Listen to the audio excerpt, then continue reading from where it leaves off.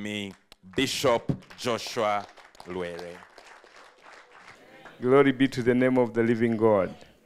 I'm so happy to be back and especially to see you vibrant. And I, was listening to the comments. Thank you so much. Um, some of the things that we shared then, we laid the foundation. In the news, they call it the new headlines. So this time we'll be going into details. In Luganda, gaga nombujuvu. So I will uh, kind of recap on what we started with. Your Excellency, we dealt with the emitwe ebikulu. So this time we'll be going into what? Into the details. Uh, gaga nombujuvu, because we are committed to making you better leaders because you are our hope. You are our hope as a nation. You young people, especially Makerere, we want you to take the leadership that you have always uh, taken. And as a Global Leadership Summit, we are really, really committed to this program. We are very grateful to the First Lady for the uh, facilitation of this program. And we are also very grateful for Life Ministry. Some of the team members, are, I'm sure they are around. I greet you all. I have not been able to see you this morning, but thank you so much for all the preparation. Thank you for the guild leadership for your contribution. Allow me this morning to share, to start where we ended. Uh, when he was here, Dr. Obote said, I'm going to start where I ended. And he said, I have 99 tricks. And when he won the elections in 1980, none of you, I'm sure you was born then, he said, uh, I've only used one of the tricks, so I still have 98. So all of us say, wow. So this morning, I'm starting where I ended. Uh, we ended on something very, very important. As leaders, one of the very, very important issues and ingredients of your leadership is the word that is here. What? Integrity. And I want to share something about integrity because that's what makes you a credible leader. A credible leader, the key issue, the greatest ingredient is integrity. And all our sharing and in different aspects of character, practices, really hing on that very, very important aspect of our life integrity. Um, allow me, since I'm a bishop, I, I'm sure you're not shocked every time I use scripture. Because if we quote people, people come and go. Uh, people in this world, politicians, uh, athletes, or what, they come and go. But we know that scriptures are timeless principles that don't change with time. You, do you agree with me? So that's why I quote scripture because they will be the same yesterday, today, and what? Forever.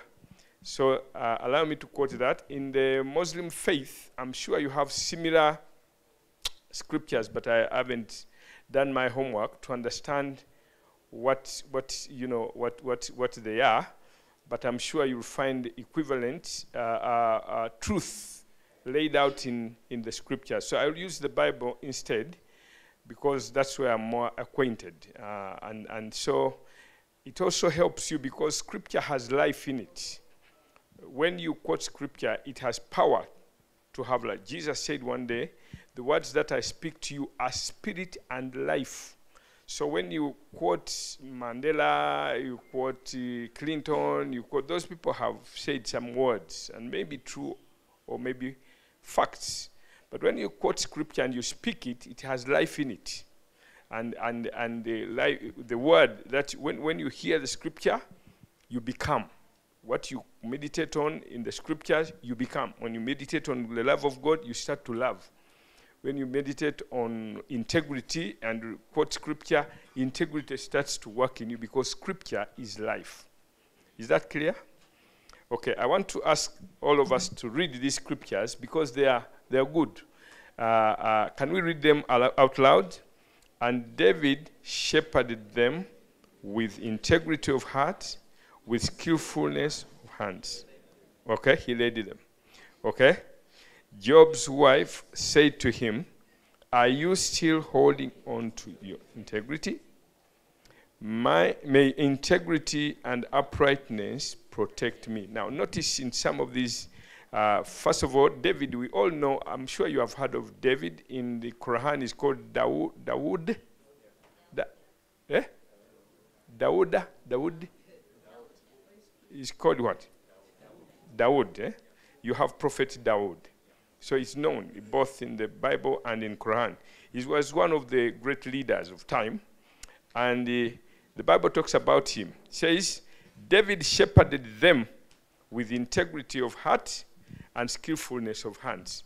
The last time I was with you, I talked about the four H's. Let me see anyone who can remember the four H that we talked about. Anybody? You can you remember the four H I talked about during the mitwe? Yes? The head, Mhm. the hands, Mm. the heart, Mm. and uh, God. Hmm, let me see where I can remember the four H. Yeah? Thank you, you tried. Just one H left.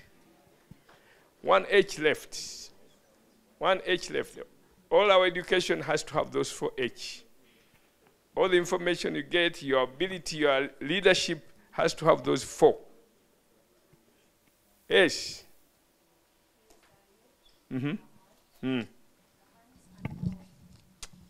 Thank you very, very much. Now, this will teach others to quickly respond. This is, this is yours. Uh, thank you very much. This is to thank you for remembering. So make sure you are attentive so that you can. I have quite a bit here.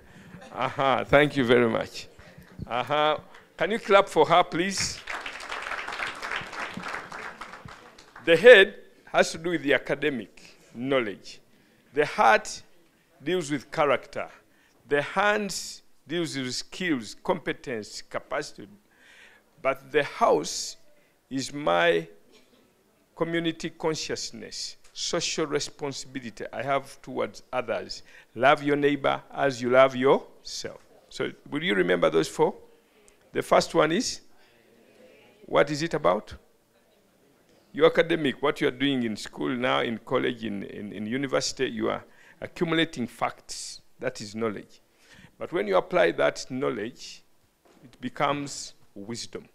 Wisdom is of the heart. The fear of the Lord is the beginning of wisdom. It brings you character. Character is the second H, heart. The third is hands. Hands have to do with skills. Your ability to apply the knowledge here, you have skills. But then you must have uh, that uh, uh, uh, uh, social responsibility to other people. So now David led, and it emphasizes the H, the, the, the heart, and the what? The hands. He, that's how he led the people. He, he led them with integrity of heart and with skillfulness of hands. He was a great administrator. He had a lot of skill. And so the Bible especially brings the heart first. Of course, he was also he also had knowledge. He did a lot of meditation in the Word. He wrote so many of the Psalms, but he also had the love for his people. So he has the other two H, but the two H's here brought out very clearly. Job's wife, Job was a man who suffered for nine months and lost everything. And his wife was saying, Are you still holding on to your integrity? So we are told by his wife that Job was a man of what? Integrity. Job, one time God was speaking to Ezekiel and said, If I come to destroy a city and there is a Noah, and there is a Job, and there is a, a, a, a Daniel. So Job was one of those who was singled out as one of the very righteous men, men of integrity. Then it, we see in Psalms it says, May integrity and uprightness protect you. So, as a leader, integrity protects you. These days, people believe so much in uh, guards, and I'm not against guards. You know, we walk and have so many people, bakanyama, going ahead of you out. For me, my faith is not so much in those. I believe if you are a man of what? Man of what? Integrity, truth, truth, integrity will do what? Will protect you. But when you are in positions of leadership, sometimes it is true that other people may just want to come and attack you. So certainly in that case, you'd need people, you'd need bodyguards, you'd need what?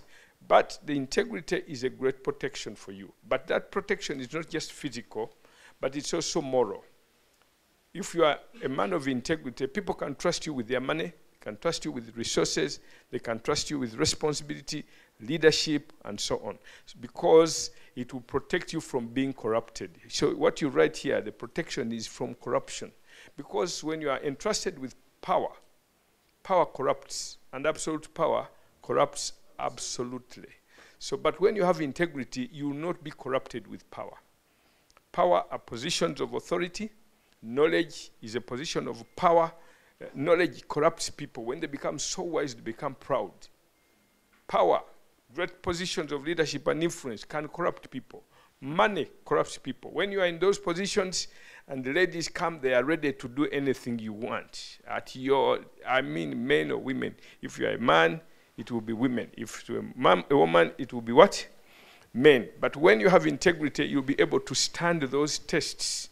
So, what will protect you most, where you should put your greatest trust, is not so much of these other outward things, it is the inward heart of integrity. So, first protection is not the kanyama, is not the money, is not the uh, who you know. Somebody called it gamba nogu. All those things are not very, you know, they, they, are, they pass away with time.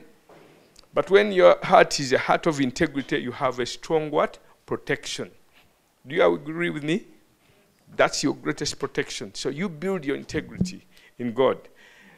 Look at uh, two, uh, three other scriptures. In my integrity, uh, uh, sorry, in, let's read it together. In my integrity, you uphold me and set me in your presence forever. So God upholds us because of integrity, and He draws us near to Himself, to His heart. Then we can understand His heart. That is very good. Then the next one, read together. I know, my God, that you test the heart and are pleased with integrity. God is always testing our hearts and is always very pleased with what? With integrity in our heart. When you want God to be pleased with you, walk, live by integrity. The man of integrity walks securely, but he who takes crooked paths will be found. Suppose you are in an organization and you are the accountant. Every time you see somebody with a tie and a file you think is uh, uh, an auditor coming and you say, oh, that an auditor? now, when you walk with integrity and you have nothing to hide, you know, you're not worried about. You, you see people in government, some of them, you know, who are crooked, they're always like that. They're scared of anybody holding a file, anybody coming with that, that kind of life you live, especially when you are living a crooked life, you are always scared of being found out because you know you have a lot of skeletons to hide and bones that you have to cover. But when you are a man of integrity, you walk with confidence. Greg Rochelle talked about confidence. Confidence is not something yet you try. Now I'm confident. Now I'm, no, no, no. Once you walk with integrity, you'll be so confident. You have nothing to hide. You don't even think about it. You are confident by nature because you have nothing to hide. You, you are really confident because you are truthful, you are honest when you are speaking. That confidence is automatic when you walk with what? Integrity. Do you want to walk with integrity so that you become more confident, more bold? Eh, The other scripture says, the righteous as a, bold as a lion. Your boldness comes from your inside. Your inside, you are confident, you are sure, you have nothing to hide, you are not hiding anything. Look at three other, and then we'll finish. Eh, the integrity of the upright guides them, but the unfaithful are destroyed by their duplicity. Well, Duplicity means here in the light, you're something else. In the dark, you're something else. That is duplicity. You have two lives. The life alone in private is different from the life in the public. God is more interested in your life in the private. Integrity of the upright guides them. When you're a man of integrity, you are guided. The, but the unfaithful are destroyed by their duplicity. Righteousness guards the man of integrity, but wickedness overthrows the sinner. In your leadership position, you are guarded, you are protected, you have nothing to fear. There will be no uh, uh, vote of no confidence or those kind of things because you walk uprightly. Now, in uh, Mark 12 14, they came to Jesus and said, Teacher, we know you are a man of what? integrity. So Jesus and many other religious leaders walked with integrity. Now let's get in. Are you are you able to read from the back? Are these words legible? Uh, can you see them? Are they big enough? Thank you. Thank you. Now, living with integrity is living by your conscience. I mentioned something about conscience, and I'm going to elaborate a little bit more about it. I'm sure you hear a lot about it among the politicians. Respect your conscience. Have you heard of that? Let's live by our conscience. Now, today I'm going to elaborate a little bit on the conscience. Living with integrity is living by your conscience. Violating your conscience continually weakens its voice. Now, what is conscience? I'm going to define it a little bit more. But let me just go a little bit by, about integrity, and then I'll spend a little bit more time on the conscience. And I'm putting all this here. Uh, the conscience, uh, let, let me leave this uh, slide because I think it is, it is important. But uh, let me, in general, talk about what we call about what we call conscience. Is a voice of God in your heart. is a part that every single human being has. Animals don't have it. God gave human beings something different from all other creation. He said, Let's make man in our image.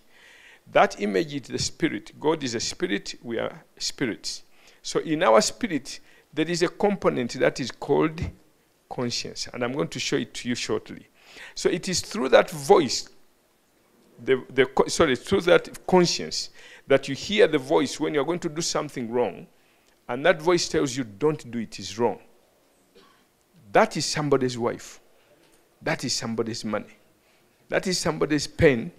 That is somebody's what? Eh? Anything wrong that you're going to do, it is your conscience that quickly pricks you. Eh? Have you heard that voice constantly? Do you hear that voice every time you're going to do something wrong? I can't hear you people. Do you normally hear that voice? People at the back, do you hear that voice when you're about to do something wrong? Who is speaking? Your conscience. It is your conscience that is saying, don't do it. That is wrong. That part of us, in us, is of God. It is given to everybody, irrespective of religion. This is not about Sikh religion, Christian religion, Muslim, Hindu, Buddha. No, it is by every human being. Not in animals, it is in human beings. Animals don't have a spirit. Animals, when you hit a dog, it's dead, it's finished. Human beings don't end like dogs. They are, uh, uh, uh, they have a part in them which is called the spirit, and I'm going to show it to you. So every time you refuse to take a bribe because your conscience tells you eh, that what you're doing is wrong and you obey it. You don't steal because your inner voice tells you it is wrong. Employees submit to their bosses and file monthly reports on time because they obey the voice of their what? You observe the speed limit and the traffic lights, not for fear of necessarily being arrested, but because your conscience says, let me do the right thing. Now, I have a problem myself struggling with that. Uh, you know, speed limit is, is not easy because you plan from here to there, I'll take one hour, and then along the way you find a lot of traffic, what? Jams. And every time you find a, a, a free space, you want to catch up with what you have wasted. The time we have wasted in the what? In the traffic jams. So sometimes it's really hard to keep the speed limit. Anybody who keeps the speed limit these days, it's not very easy. I struggle with it myself. And that's where my conscience, I think, pricks me most, okay? You declare and pay the right taxes when under declaring would be convenient and you uh, would make economic sense for you personally and your business. You are punctual at work, you keep time because it is right. So whenever you decide I'm going to do the right thing, when there is another convenient thing. You remember when we were talking in Esera, we said you can live either by conviction or by convenience. So it is the, the conviction comes from the conscience. It is the conviction of the conscience that protects you. You say, I'm going to live by conviction. When you say that, you are saying, I'm going to live by my conscience.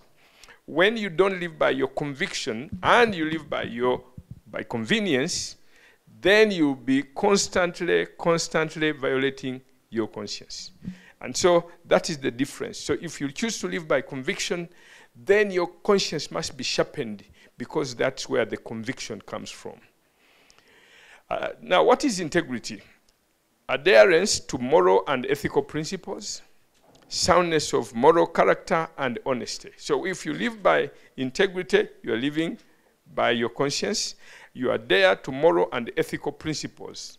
Adhere to moral. Moral principles just mean the right and wrong, while ethical principles, for example, at your place of work, they are ethics ethics of work in the office, in the organization where you are going. Many of you are going into leadership uh, uh, uh, uh, after here, after university, you are going to be employed. There are certain ethics in every field. If you're a lawyer, there are uh, ethics that you follow as a lawyer. Younger lawyer, you respect older lawyers. You respect the judge. Those are ethics in court. Any lawyers here? Any lawyers? No, I mean aspiring to, to be. okay, aspiring to be lawyers here. Okay, Th- those are ethics in the legal profession. Then there are other ethics in the health. If you are a doctor aspiring to become a doctor, there are ethics there. You take the Hippocratic oath, and then there are ethics. You keep the secrets of, the, of your of, of, of, of your patient. That, that is, that is, that talks about ethics. Those are ethics. If you are a minister of the gospel like I am, you, you, there are certain religious, ethical values. You, you, you treat yourself with dignity, with honesty, and that. Those are ethics. But then there are moral.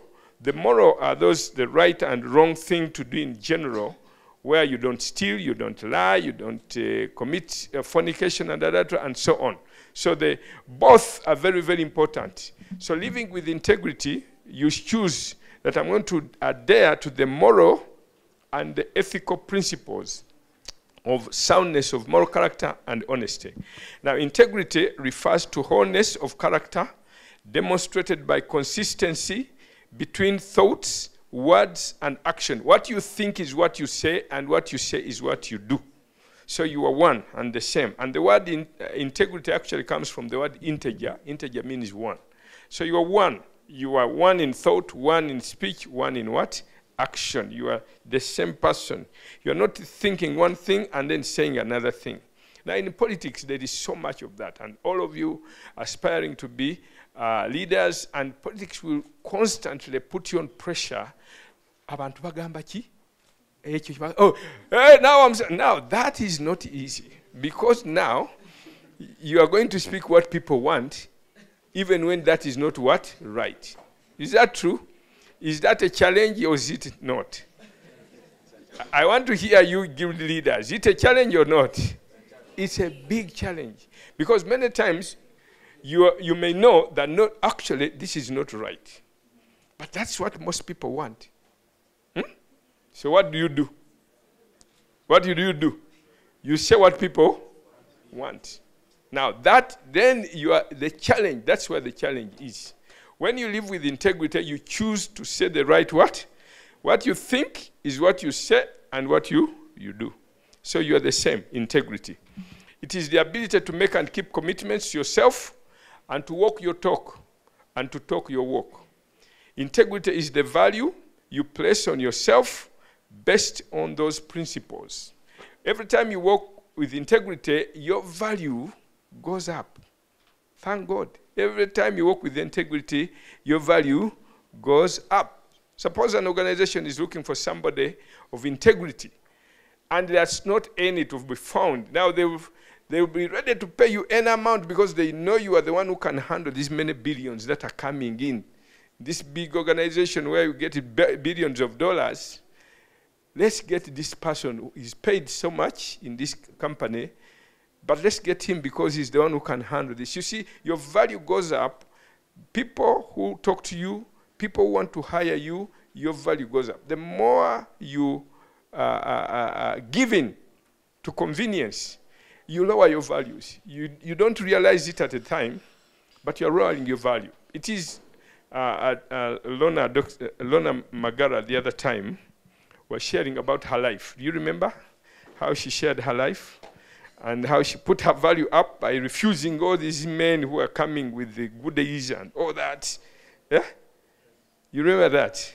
Now, when you do that, people, young men, these people who are always out to defeat any young who is coming in, they say, ha, oh. That one. ah."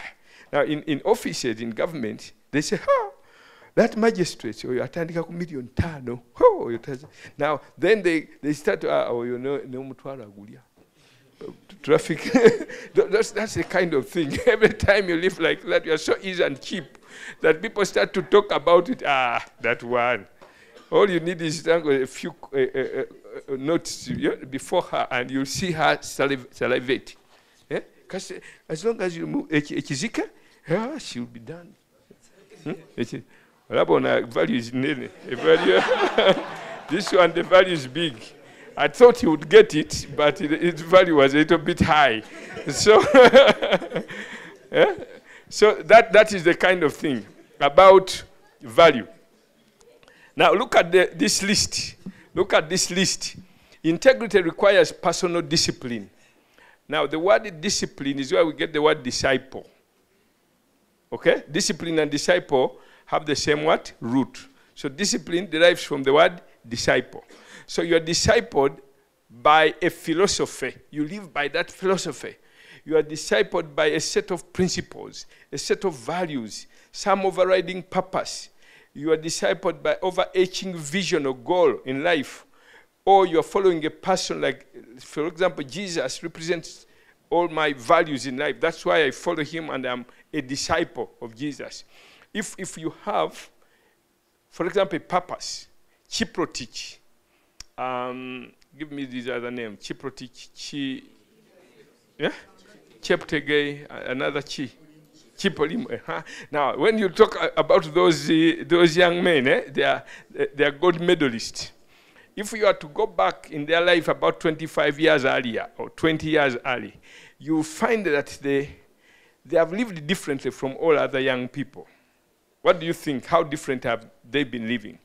While others are sleeping, they are what? Whether it's raining, whether it is drizzling, many of us are putting our blankets back. For them, they are jumping out of bed. Out of conviction, they throw the convenience of the bed, go out into the cold, and do the drills. So when you see them one day getting a gold medal, they are not getting it that day. That's how they have been for the last 20 plus years. You understand that? Because they decided to disciple their life, to discipline their life towards a vision that they always have had in life. They decided one day I'll be a gold medalist. By the time they are 30 or 35 and they get it, it hasn't come that day. It has been a lifetime of commitment to a discipline. You, young people, young leaders, I pray that you get such commitment and vision, that you have something overarching that eats you up and you keep before you you keep it before your eyes. You are continually continually looking forward to that day when you become that. You need to have that kind of vision. And the values your values your character is always formed by that kind of vision. If the vision is very very high the demands will be very very high. The demands in terms of what you eat who you talk with, the relationship you have. So if you got look with Kiprotich, they will not eat the the, the, the the food others eat, junk food. We call it junk food, chips and what? Chicken. Uh, or any other junk food. They said, no, I can't eat that because I have a vision. I want to become a gold medalist. You see that? They always have a goal. I will not do that. No, I cannot oversleep. I can't go beyond these hours. Or I can't eat at, at, at 10, a- 10 p.m. You know what that does? When you eat at 10 p.m., most of the food, when your body has gone to rest, and the food remains, so it keeps your tummy like this. Eh? The, the, the, so that for them, they say, "Ah, ah, I can't afford that, you know, because they are going to keep, it is the discipline they have decided to put on themselves. Nobody is demanding, you are. Remember, public leadership comes from private leadership. Private leadership flows from discipline. Discipline is you choosing to disciple your life after a certain lifestyle. the friends you have, the food you eat, the books you read, the, the way you spend your time, it, it has taken over all your life. And that is what makes you a great leader. It raises the value of your leadership because the, you've really, really decided and you've chosen and you keep it to yourself. You are not, you don't have anybody telling you, asking you, you are constantly checking on yourself. So I'm going to be a man who keeps time. I always keep time. And you decide against all odds, for me, I'll keep time. If others don't, for me, I'll keep what? You can choose in this country to choose and say, for me, I'll always keep time. And I'm going to make it. I, I, for example, I personally have decided to do that. I decide to keep time, except when it's beyond my power. But people can come to and say, ah, our president, that one, if he promises he's coming at 9, be sure he'll be there. If you don't see him at 9, he's either had an accident or he has died. So they know in keeping time, he's so time, ah, that is his value. Now, that is a, a, a very, very important part for you as a leader, especially for you, you have opportunity now at the formative stages of your leadership. This is where these values are set. You don't come along, along the way uh, when you're 40, 50, that is too late already. You've lost already opportunities. You start now. When do we start? Now. You're going to start now. Those values, those principles. Spend more time reading about character issues than even leadership, because at the end of the day, that is the real matter. The others, people can put them up by just reading and acting them out. But for you, you live them. When you live, character is more important in leadership than uh, oratory, uh, your ability to speak. Those are wonderful, but they are short lived. Short lived. The ones that transcend time are the issues of character of the heart. Okay?